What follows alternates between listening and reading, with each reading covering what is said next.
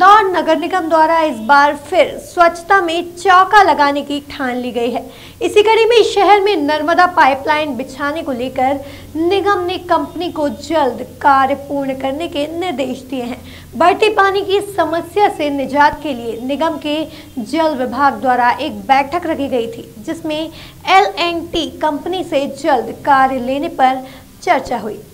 Narmada pipeline बिछाने को लेकर इंदौर में एलएनटी कंपनी द्वारा एक किलोमीटर की पाइपलाइन बिछाने का काम दो साल की समय सीमा में लिया गया था।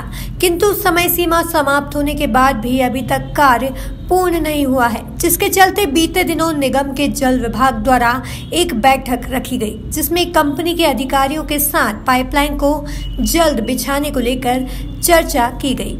एल एन टी कंपनी अभी ग्यारह किलोमीटर की जो लाइन डाल रही है ग्यारह किलोमीटर में लगभग 600 किलोमीटर का उनका काम हुआ है। बाकी के काम तेज़ी लाने के लिए आज हमने बैठक रखी थी और उस बैठक के कारण अब उन्होंने ये हमको आश्वस्त किया है कि हम ये काम तेज़ी से करेंगे और सारी दूर सारा काम जल्दी निपटाने की तैयारी है उनका कार्यकाल वैसे समाप्त हो चुका है हमने जो टेंडर किया था, उसमें दो साल का समय था। वो दो साल का समय पूरा हो चुका है। अब टाइम बार हो चुका है तो अब हम पेनल्टी भी लगाएँगे। अब एम की बैठक में निर्णय करेंगे कि उनके ऊपर कितनी पेनल्टी लगाना है और पेनल्टी लगाकर हम उनको काम को पूरा कराएँ। बैठक के बाद कंपनी ने निगम को विश्वास दिलाया कि 600 किलोमीटर का काम हो चुका है और बाकी का काम जल्द ही पूरा हो जाएगा।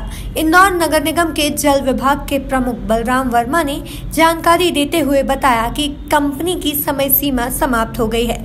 इस तरह अब कंपनी पर पेनाल्टी लगाई जाएगी। इस पर आगामी एमआईसी की बैठक में चर्चा होगी कि कंपनी पर कितनी पेनाल्टी लगे और कंपनी से काम किस तरह जल्द ही करवाया जाए।